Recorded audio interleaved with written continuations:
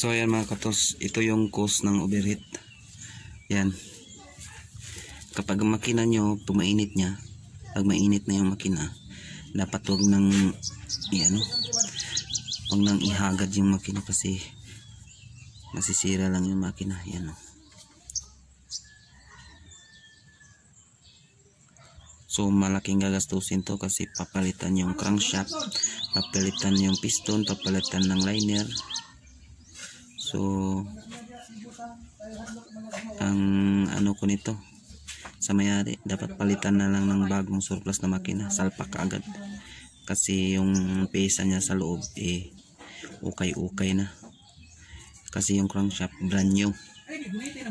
Tsaka yung cone bearing niya ay 50 na 50 oversize 50 tsaka yung piston ring niya 25 at hindi ano at yung liner niya substandard na hindi na standard. Kaya ganon yung nangyari. Nasira nag-cause ng overheat kasi yung crankshaft niya ay brand new replacement lang.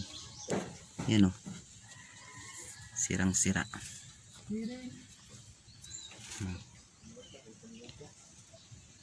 yan ang cause ng overheat. Masisira talaga yung piston.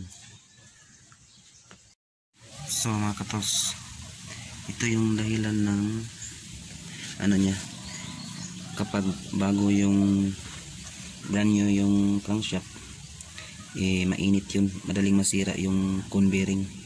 Kaya ha, pag no-overheat na yung makina yung dahilan ng overheat masisira yung ring tsaka minor, tsaka yung piston. Yan. So, yan na.